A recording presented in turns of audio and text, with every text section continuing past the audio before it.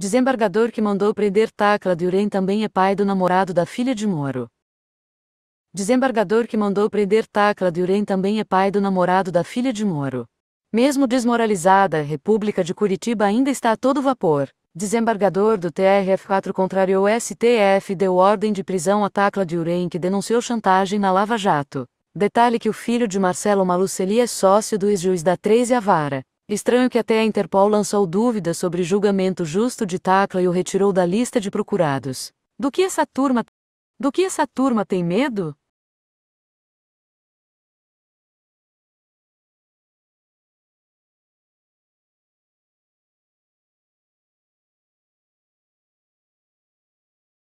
Em quatro anos de governo, o Bolsonaro furou o teto em 795 bilhões de reais. Eu vou repetir, bilhões de reais.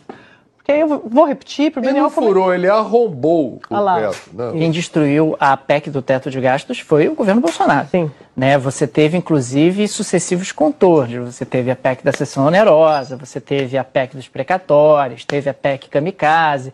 O que não faltou no governo Bolsonaro foi contorno ao teto de gastos e a desmoralização dessa política fiscal que foi desenhada lá atrás pelo, pelo Henrique Meirelles. E a consequência veio. Quer dizer, nós tivemos durante o governo Bolsonaro um aumento substantivo da taxa de juros.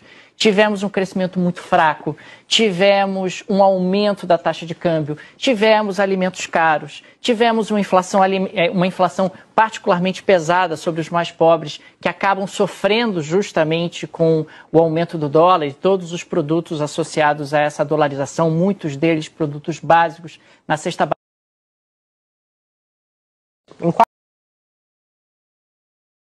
Que grande notícia! Wagner Moura viverá Paulo Freire num filme gravado em Angicos, berço histórico da experiência de alfabetização de adultos que correu o mundo.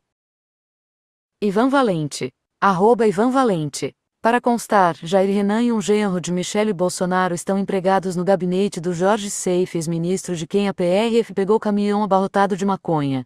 A direita deveria abandonar a pauta da guerra às drogas.